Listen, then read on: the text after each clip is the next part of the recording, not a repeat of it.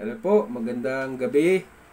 Magandang ah, araw man, ah, aking kaibigan, kababayan, mga kapatid. Um, ito po ay karugtong noong video natin. Ang nakaraan po nating video ay patungkol sa family na design ng Panginoon, yung relationship, maayos na relationship between parents and children kung ina-apply po natin ang salita ng Diyos. Ngayon po ay idugtong po natin do yung uh, aral na ito doon sa Ephesians Ephesians chapter 6 verse 5 to 9. Uh, isang hamon din kasi sa pagbabago ang laganap na pang-api ng mga laborers ano po o mga issues sa gitna ng mga amo at alipin or sa panahon natin yung relationship relationship between the employee at ang kanyang employer o di kaya mga boss at mga managers at yung kanilang mga staff. So kamakailan lang mayroong video na napanood tayo yung yung isang pinakamayaman, anak ng mayaman na binantaan niya yung kanyang kusinira yata yon na nagluto na ah, hindi niya nagustuhan. So na rapid po po sila. So actually ilan lang siguro po yun sana i-report pero alam natin may mas malala pa siguro ang mga pangyayaring ganun. Kasi ayon doon sa babae, eh, marami daw ginagawa na ganun. Sa mga kanyang katulad niyang mga katulong din. So, mayroong amo na hindi tama magpasahod, mapanakit na amo, kagaya anong sinabi ko kanina, hindi nagbibigay ng tamang benepisyo, pangmaltrato, sa ibang bansa naman, panggagahasa, o kahit dito sa atin, uh, mga pagpatay, uh, malalaman natin yun minsan ataol na lang mula sa ibang bansa. Eh. So nakakalungkot po yun, hindi po yun magandang pangyayari isa, isang uri yun ng hindi makataong paggawa. So, sa mga empleyado rin ay may madadaya, katulad ng mga katulong minsan madadaya din.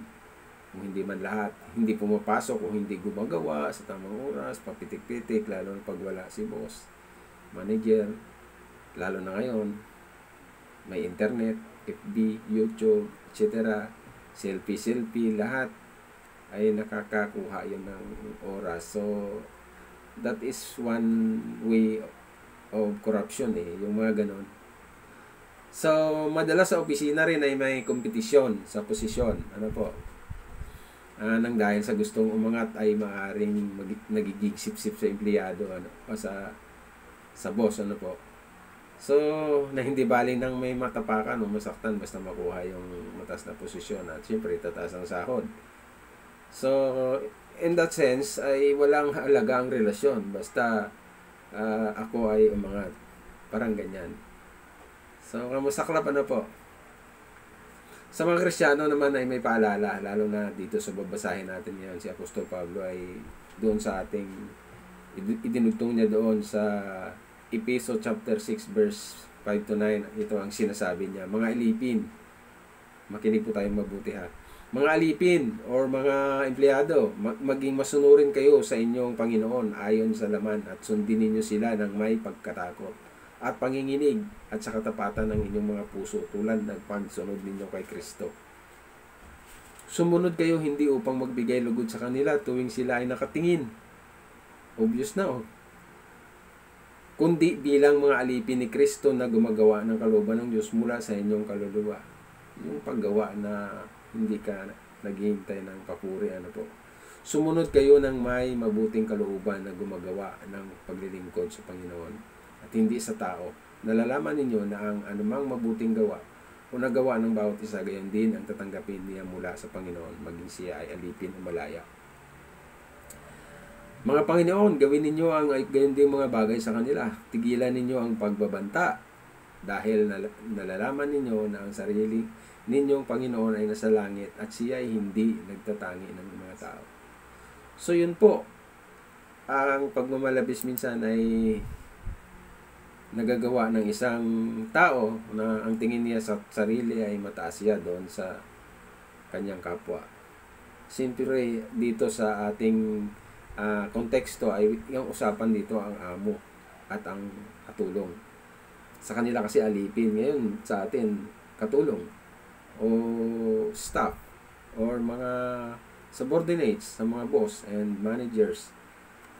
Kung ganito sana ang bawat opisina, ayon sa ating nabasa, ay may iwasan ng mga hindi ka nais-nais na pag pangyayari katulad ng mga nabanggit ko sa, sa sa introduction ko kanina ano po yung pagmamalabis ng amo yung panggugulang din ng mga empleyado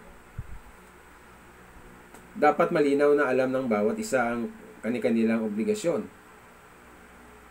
ang tanong siguro ay paano kung ang amo mo ay hindi naman naniniwala sa banal na kasulatan o di kaya kung ikaw ang amo paano kung hindi naman naniniwala yung inyong ano, yung yung empleyado. Kung ikaw amo siguro ay may power ka o authority ka na manduhan yung iyong katulong. How about kung ikaw ay katulong at yung amo mo hindi niniwala sa iyo sa paniniwala mo.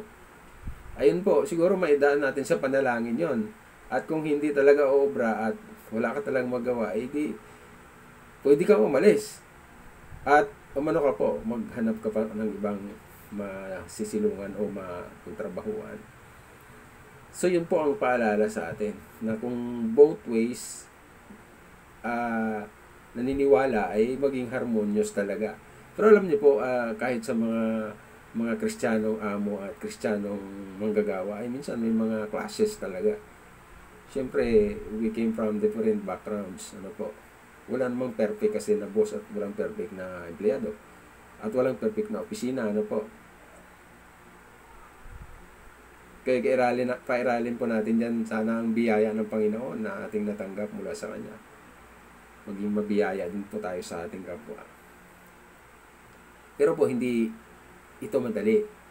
Kaya kailangan natin ng uh, uh, pagkilos talaga ng Panginoon para maisagawa po natin yung tamang paggawa ayon sa responsibilidad na inaatang sa atin ng Panginoon. So magiging panatag ang ang isip ng boss pag wala siya dahil tapat ka sa kanya. Kailangan mag-gain ang trust ng boss. Uh, huwag maging sip-sip, ano po, maging makatotohanan.